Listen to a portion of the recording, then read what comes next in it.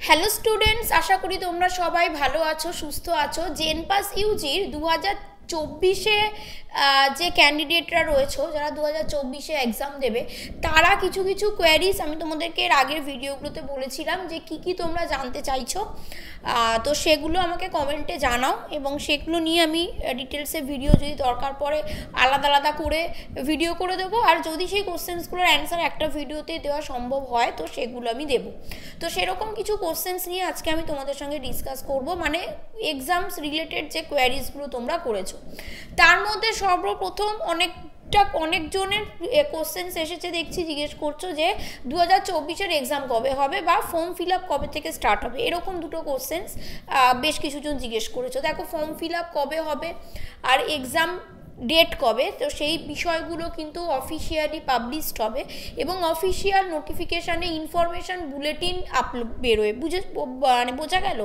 কোথায় পাবে না? জেন পাস ইউজির অফিসিয়াল ওয়েবসাইট মানে সরি ডাব্লিউ বি যেই অফিসিয়াল ওয়েবসাইটে আমরা দেখব জেন পাস ইউজির যে পোর্টালটা আছে, পার্টটা রয়েছে, সেখানে আমাদের ইনফরমেশান বুলেটিন আপলোড হবে এবং সেখানে পিডিএফ ফর্মে আমরা কবে এক্সাম হবে এক্সামের প্যাটার্ন কি কি হবে, না হবে সব কিছু দু হাজার জন্য কিন্তু পাবলিশড হবে। যেটা এতদিন পর্যন্ত মানে নতুন যে প্যাটার্নটা এসেছে, তোমরা জানো দু হাজার একুশ, বাইশ, তেইশ, এই তিন বছর নতুন প্যাটার্নে এক্সাম হচ্ছে জেন পাস ইউজির এবং সেই প্যাটার্নটা কি, সেটা আবারও আমি দু হাজার চব্বিশের স্টুডেন্টসদের জন্য কিন্তু ডিটেলসে ডিসকাস করে দিয়েছি যে কত মার্কসের কোন পার্ট থেকে কোন কোশ্চেন্স আসে, কত মার্কসের আসে, কোথায় নেগেটিভ মার্কিং আছে, কোথায় নেই। সেইটার ভিডিও যদি তোমরা কেউ দেখে না থাকো, তুমি প্লেলিস্ট চেক করতে পারো। আর আজকে এই টপিকগুলো যেগুলো যেগুলো আমি আজকে বলব, তো সেগুলোর ভিডিওগুলোর লিঙ্ক আমি ভিডিও ডেসক্রিপশানে এবং আই বাটনে দিয়ে দেবো। তোমরা যারা যারা সে মানে এই বিষয়গুলো নিয়ে জানতে চাইছো অলরেডি আমার ভিডিও আপলোডেড আছে, কিন্তু কোনো কারণে তোমরা খুঁজে পাচ্ছ না। তো এই ভিডিওটা ডিসক্রিপশানে লিঙ্ক দেওয়া থাকবে এবং আই বাটনে লিঙ্ক দেওয়া থাকবে, তোমরা ওটা চেক আউট করে নিও, ঠিক আছে? তাহলে প্রথমেই কি বললাম না ফর্ম ফিল আপের ডেট ফর্ম ফিল আপ আর এক্সাম তোমরা এটা অনেকে জানতে চাইছো ফর্ম ফিল আপ আর এক্সাম ডেট তো এই দুটোই আমরা কি পাবো না অফিসিয়াল ওয়েবসাইট ডাব্লিউবি জেইর যে অফিসিয়াল ওয়েবসাইট বললাম, তো সেই অফিসিয়াল ওয়েবসাইটে কিন্তু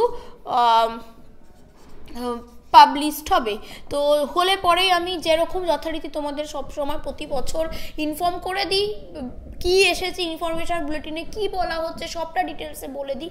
এবছরও কিন্তু সেই ভিডিও আসবে পাবলিশড হলে আমি তোমাদের জানাব ক্লিয়ার সেকেন্ড হচ্ছে, তোমরা জানতে চাইছো যে পাবলিশড তো হবে, বুঝলাম, কিন্তু আমাদের তো পড়াশোনা করতে হবে। তাহলে আমার সিলেবাস জানা উচিত।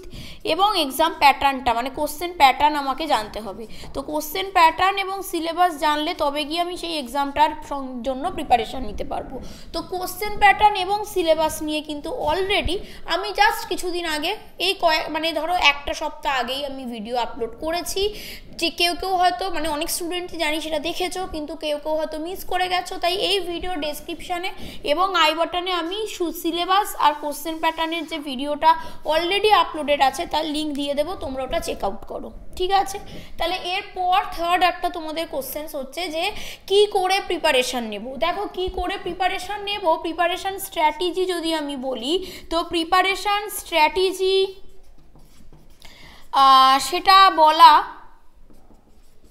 সেটা বলাটা কীরকম জিনিস? না প্রিপারেশান স্ট্র্যাটেজির মধ্যে এক তো তোমাকে মেন্টাল প্রিপেয়ার থাকতে হবে। তাই না? আমার মতে মানে আমার মনে হয় প্রিপারেশান স্ট্র্যাটেজি দুরকম হয়। আগে আমাকে মেন্টালি প্রিপেয়ার হতে হবে। যে কোনো কম্পিটিটিভ এক্সাম মাধ্যমিক, উচ্চ মাধ্যমিক পাশ করা সেম নয়। তো তাই জেন পাস দাও নিট দাও জিএনএম এএনএম দাও, যে কোনো কম্পিটিটিভ এক্সাম আমি একবার দেবো। তাতে আমি নিশ্চিত সাকসেস পাবোই হান্ড্রেড পারসেন্ট সেটা না হতে পারে কিন্তু আমাকে পজিটিভ ভেবে এগোতে হবে। সেই সময় অনেক বাধা আসতে পারে, অনেক ডিমোটিভেশন নিজের থেকে নিজের আসতে পারে, কিন্তু নিজেকে কিন্তু নিজের লক্ষ্যে স্থির থেকে এগিয়ে যেতে হবে যে আমি শেষ পর্যন্ত লড়াই করব এবং ফোকাসড থাকব। তাতে আমি দেখব যে আমার জন্য যেটা বেস্ট হয় সেই মতন আমি চেষ্টা করব এবং অবশ্যই তাহলে কিন্তু সাকসেস আমার হাতে আসবে। তো সেই জন্য সেই মেন্টাল প্রিপারেশানটা আমার মনে হয় সবার আগে জরুরি যে হ্যাঁ আগামী মাসগুলোতে আমার একটাই ফোকাস সেটা হচ্ছে নিট বলো কি জেন পাস বলো যা যার যেটা টার্গেট সেই সাকসেসটা যেন আমার কাছে আসে। তো তাই প্রিপারেশন স্ট্র্যাটেজির মধ্যে আমার মনে হয় সবার আগে আমার মেন্টাল প্রিপারেশন স্ট্র্যাটেজিটা মেন সেটা যখন যদি হয়ে যায়, আমি মেন্টালি যদি প্রিপেয়ার হয়ে যাই যে হ্যাঁ আমি এই সেশানে এই সিলেকশনটা আনব, তো তাহলে তারপরের বিষয়টা আমি মেন্টালি যদি রেডি থাকি, পরের পড়াশোনার জার্নিটা আমার মনে হয় অনেকটা বেশি ইজি হয়। মানে এদিক ওদিক ফ্ল্যাকচুয়েট আমরা করি না প্রিপারেশান টাইমে যেটা সব সময় থাকাটা দরকার।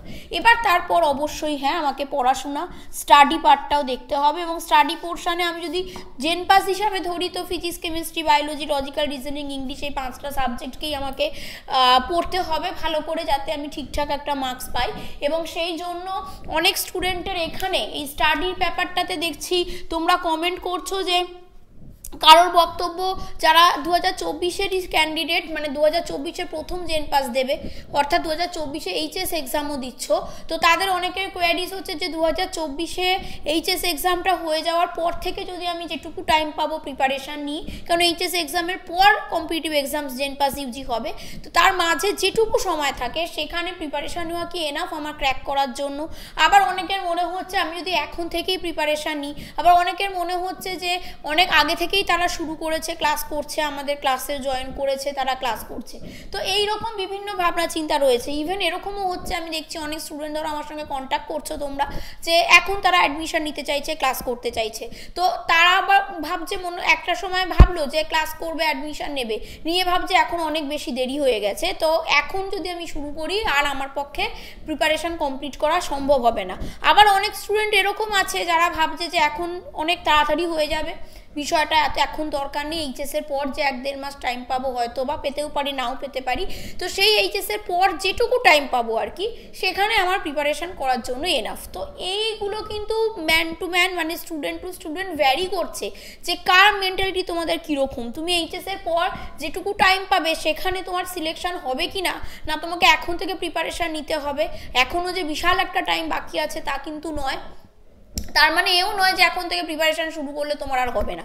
তো এই জিনিসগুলো কিন্তু পুরোপুরি ডিপেন্ড করছে তোমার উপর। অনেক স্টুডেন্টস কি করে না, এইটা, এই জায়গাটা নিয়ে সবচেয়ে বেশি স্টুডেন্টদের দেখছি কনফিউশন তো সেই কনফিউশনগুলো ক্লিয়ার করার জন্য তোমরা তোমাদের সিনিয়র দাদা, দিদি এদের থেকে পরামর্শ নিচ্ছ। তারা বিভিন্ন জন দেখছ বিভিন্ন রকমের আইডিয়া তোমাকে দিচ্ছে। কিন্তু আমার মনে হয় এই বিষয়গুলো লোকের কারও কেউ কে কি বলছে সেই আইডিয়া না নেওয়ার থেকে তোমাকে যেটা বললাম, সবার আগে তোমাকে মেন্টালি প্রিপেয়ার হতে হবে এবং সেই অনুযায়ী তোমাকে নিজেকে একটা স্ট্র্যাটেজি বানাতে হবে যে যেটুকু সময় আছে, সেখানে তুমি বুঝছ তোমার ইলেভেনটা কীরকম প্রিপেয়ার্ড আমি এটা মেনলি যারা টুয়েলথ পাস আউট স্টুডেন্টস বা যারা ম্যাক্সিমাম স্টুডেন্ট যারা এবার এইচএস দেবে, তাদের ক্ষেত্রে বলছি যে তোমরা জানো তোমার ইলেভেন কতটা রেডি ছিল, তুমি আদৌ ইলেভেনে কতটা পড়াশোনা করেছ, যেটা খুব কম ছেলে মেয়ে ইলেভেনে পড়াশোনা করে ম্যাক্সিমাম স্টুডেন্টই সবে মাধ্যমিক পাস করে ইলেভেনে পড়ছে, তো একটু ফাঁকি তো দেয়। তো এই বিষয়টা, এবার কি তুমি এইচএসের পর যদি শুরু করো, তোমাকে একদম অল্প টাইম সেই টাইমের মধ্যে তোমাকে জিনিসটা মেকআপ করতে হবে ইলেভেনটাকে রিভাইজ করতে হবে টুয়েলভ যদি তোমার ভালো রেডি থাকে তো ঠিক আছে। অনেক স্টুডেন্টের ক্ষেত্রে তোমরা এটাও মাথায় রেখো যে এইচএসে আমি নাইনটি পার্সেন্টের উপর মার্কস পাচ্ছি। তার মানেই আমার নিট জেন পাস সিলেকশন আসবে, সেটাও কিন্তু পুরোপুরি নয়, হতেই পারে কোনো স্টুডেন্টস নিট বা জেন পাসকে ফোকাস করে পড়াশোনা করেছে। তো সে অবভিয়াসলি এইচএসেও ভালো মার্কস এনেছে এবং নিট বা জেন পাসেও সে র্যাঙ্ক করতে পারবে। কিন্তু যদি আমি ভাবি যে শুধুমাত্র মুখস্থ করে আমি যে মানে এইচএসটায় ভালো মার্কস পেয়েছি, সেক্ষেত্রে সেই মুখস্থ বিদ্যাটা সব ক্ষেত্রে কিন্তু কম্পিটিটিভ এক্সামসে আসবে না। বা মুখস্থ করে বা সাজেস্টিভ ওয়েতে যদি পড়ে কিন্তু এইচএসে ভালো মার্কস পাওয়া যায় কেন ওরা পাঁচ নম্বরের কোশ্চেন্সগুলো কী আসবে জানি। জানি মানে মোটামুটি একটা আইডিয়া কয়েক বছরের কোশ্চেন্স দেখলে আমরা বুঝতে পারি। আমাদের টিচাররাও সেভাবে গাইড করে যে এইচএসে এই এই জিনিসগুলো পড়লে আমি ভালো মার্কস পেতে পারি। তো সেই জন্য সেটা সাজেস্টিভ ওয়েতে পড়েও খুব ভালো মার্কস পাওয়া যায়, যেটা কিন্তু কম্পিটিটিভ এক্সামসে ওরকমভাবে সাজেশন ওয়াইজ পড়লে যে এই চারটে চ্যাপ্টার আমি পড়ব, এখান থেকে এত মার্কসের তো কোশ্চেন আসবেই তার থেকে আমার এত মার্কস উঠে যাবে। এই রকম ধরা বাঁধা সাজেস্টিভ ওয়েতে কিন্তু পড়লে তুমি কম্পিটিটিভ এক্সামস সেটা যেটাই হোক না কেন, তুমি সেভাবে ঠাই পাবে না। তো তাই এই জিনিসগুলোকে মাথায় রাখতে হবে যে তুমি কি হিসাবে এখন পড়ছো, তো তার এফেক্টটা তুমি তখন কম্পিটিটিভ এক্সামে পাবে। তুমি যদি পুরোটাই রেডি থাকে ভালোভাবে, তাহলে তুমি এইচএসের পর যেটুকু টাইম তোমার হাতে আছে, সেটাও এনাফ আমাদের কাছে এরকমও অনেক স্টুডেন্টস লাস্ট ইয়ার মানে দু হাজার তেইশে ছিল, যারা ধরো দু হাজার বাইশের মানে দু হাজার তেইশের এইচএস এক্সাম দেওয়ার পর ভর্তি হয়েছে এবং তার ওই এক মাসের মধ্যে আমাদের কাছে যে লাস্ট বুস্ট আপ কোর্স ছিল, সেই বুস্ট আপ কোর্সে ক্লাস করে তারা কিন্তু গভর্নমেন্ট কলেজে এখন বিএসসি নার্সিং পড়ছে সিলেকশন পেয়েছে। আবার কিছু স্টুডেন্টস আছে যারা বছরের প্রথম থেকে পড়ছে, তাদের সিলেকশন হয়নি। তো তাই জন্য কিন্তু এটার কোনো ধরা বাঁধার রুলস নেই যে এই সময় থেকে পড়লেই তোমার সিলেকশন আসবে বা ওই মাস থেকে পড়লে তোমার সিলেকশন আসবে না। এটা পুরোপুরি তোমার ডেডিকেশনের উপর ডিপেন্ড করছে।